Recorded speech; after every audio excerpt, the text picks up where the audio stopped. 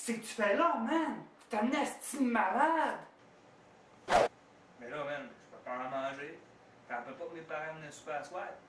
Ah, c'est ben trop vrai, man. Je m'en rappelle plus de ça, moi. Hey, tu penses qu'il y en a assez pour ça que ma blonde a venait super à soir? Ah oui, il y en a en masse. Ouais, c'est bien parfait, man. Tu me dis, oh, mais t'es fini, je vais t'aider à ramasser.